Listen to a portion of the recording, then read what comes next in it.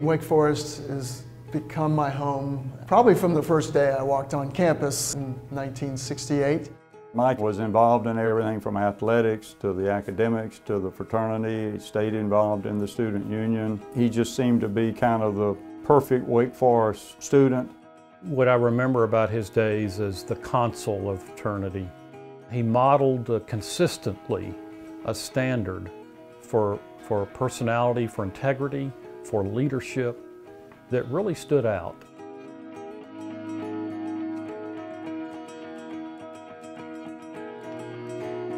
I think what brought me back to Wake Forest professionally was I had this fond memory of how Wake Forest transformed my life.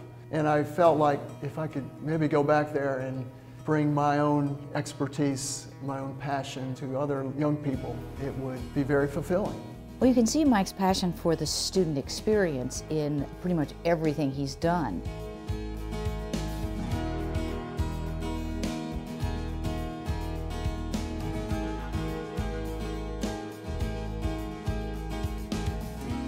I think one of the most important experiences that he's probably created is the idea of philanthropy and giving back. Mike lives out our motto, Pro Humanitate. He fundamentally believes when we serve other people, we are in fact serving ourselves in the best sense of the word. His biggest contribution to the community of Wake Forest is through the Brian Piccolo Cancer Drive with Hit the Bricks and Wake and Shake, because that has just changed so many lives on Wake's campus and built leadership roles we both worked on Wake and Shake together. His positive mindset and optimism was so impactful as someone who was learning, figuring out the ropes of the process. If you ever needed help, he was right there with you.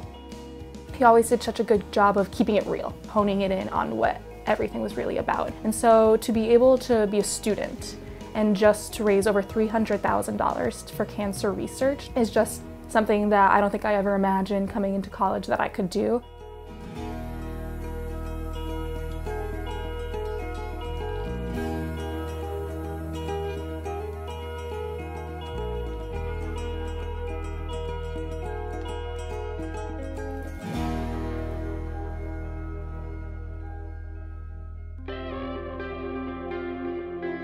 Where Mike has really left his mark is building this whole orientation program. He always felt helping each of our students find their place was very important. He started the Deacon Camp, and so it's a pre-orientation program for first-year students. And his enthusiasm for Wake Forest just kind of shined through when he took these students to learn about the history of Wake Forest and where it actually started. And to do that with first-year students, I think is so special. I remember when I first came to Wake, he was described to me as the president of fun because he was at the heart of all those amazing student activities that were going on. I remember Mike runs out on stage with a red wig and a white lab coat and these kind of like googly eyes and he's kind of playing this role as a mad scientist and it was so fun to watch all of the students, all of the freshmen in the audience just kind of look at each other and go, who is this guy? That moment just, I think really speaks to his just dynamic ability to also be somebody who can meet an audience at their level. I actually didn't find out he was President Ford's son until probably about halfway through my junior year. And it was kind of shocking because he was such a humble man.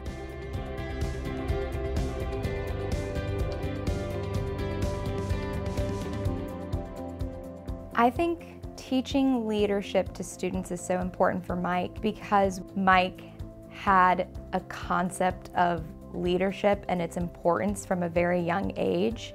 He uniquely understood its impacts when taught and done right. He engages students first and foremost as a conscious presence. And he also has this uncanny ability to see more in people than perhaps they see in themselves at any given moment. What stands out about Mike was how fervently he believed in students, lifting students up and giving them the opportunity to shine in leadership, whether that is through Charge, whether that was through Wake and Shake, whether that was through Hit the Bricks. Those are all real hallmarks of putting students in the limelight. He didn't wait till they were seniors to help them understand what leadership meant. He really started talking to them, getting to know them, helping them get to understand what that concept was about as first year students. Mike is one of those who always puts students first. So whatever the program or whatever the event, he was going to make sure not only were student voices at the table, but that if they happened not to be, that he was going to be advocating for them.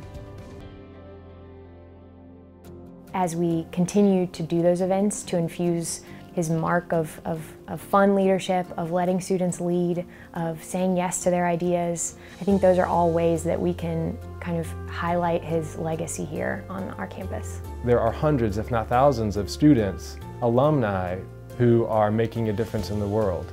And they have all been influenced by Mike. Mike, thank you. Thank you, Mike.